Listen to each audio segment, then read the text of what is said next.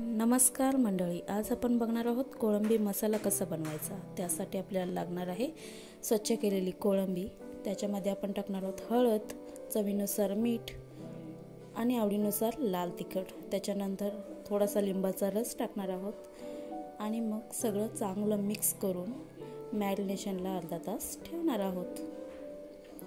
त्याच्यानंतर आपल्याला लागणार आहे कांद्याची पेस्ट टोमॅटोची पेस्ट आणि ओलं खोबरं आणि कोथिंबिरीची पेस्ट. आता आपण तेल गरम करत ठेवलेलं आहे. तेल थोडंसं तापल्यानंतर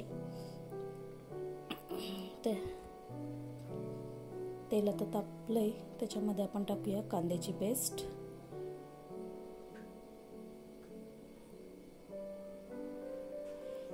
कांद्याची पेस्ट टाकल्यानंतर कंटिन्यू हलवत राहायचं आहे. जोपर्यंत ती चांगली परतली जात नाही तोपर्यंत कांदा व्यवस्थित भाजला गेला पाहिजे.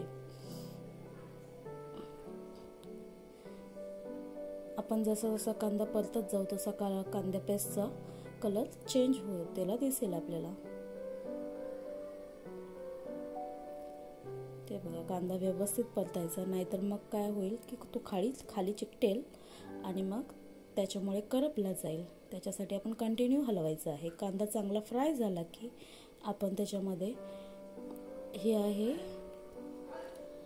हिरवी मिरची पुदिना आणि लसूण आल्याची पेस्ट आहे. ती टाकली आपण. त्याच्यानंतर आपण टाकणार आहोत हळद लाल तिखट आपण आधीही टाकलेलं आहे कोळंबी मॅरिनेशनसाठी त्यामुळे आपण लिमिटेड टाकणार आहोत. आपल्याला जितकं तिखट हवं आहे तितकं. आणि त्याच्यानंतर आपण आता परतत आले चांगलं परतल्यानंतर त्याच्यामध्ये टाकायची आहे कां टोमॅटोची पेस्ट. तीही चांगली परतून घ्यायची आहे. आपण जितकं चांगलं परतत जाऊ स्टेप बाय स्टेप तशी रेसिपीला टेस्ट चांगली येत जाईल. याच्यानंतर आपण टाकणार आहोत हिरवं वाटर ज्याच्यामध्ये ओलं खोबरं आणि कोथिंबीर टाकलेली आहे. चांगलं तेल सुटेपर्यंत हे आपण वाटण परतून घेणार आहोत. सगळा मसाला जो आपण टाकलेला आहे तो परतणार आहोत. याच्यानंतर वेगळा असा काही मसाला टाकायची गरज नाही आहे याच्यात. आपण जे आत्तापर्यंत सामान टाकलेलं आहे त्याच्यातच हे छान होईल. आता तेल सुटलेलं आहे आपण आता कोळंबी ॲड करणार आहोत. हे आपण अर्धा तास मॅरिनेट केलेली कोळंबी आहे. हवं असल्यास फ्रीजमध्ये ठेवू शकतो मॅरिनेशनला नाही तर बाहेर ठेवलं तरी चालेल. कोळंबी टाकल्यानंतर सुद्धा चांगलं परतून घ्यायचं आहे जेणेकरून मसाला व्यवस्थित लागला जाईल कोळंबीला.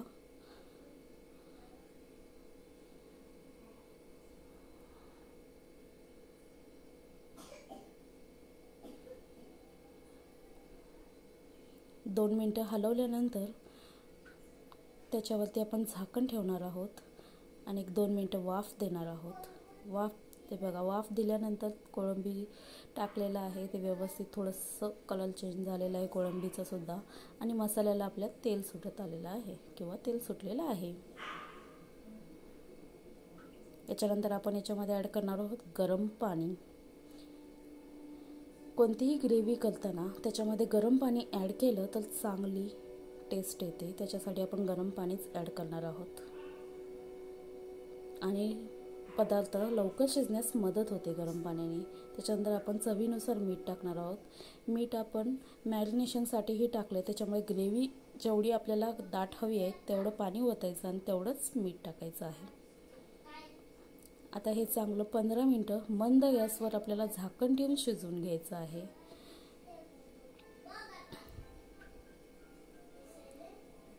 बघा आता पंधरा मिनटं झालेली आहेत. आम्ही झाकण काढलेलं आहे. कसा चांगला याला कट आलेला आहे ग्रेव्हीला. आपल्याला जितकी थिक हवी आहे तितकी थिक ही ग्रेव्ही ठेवायची आहे.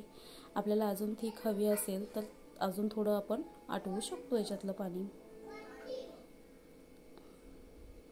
कोळंबी आता कम्प्लिटली शिजलेली आहे.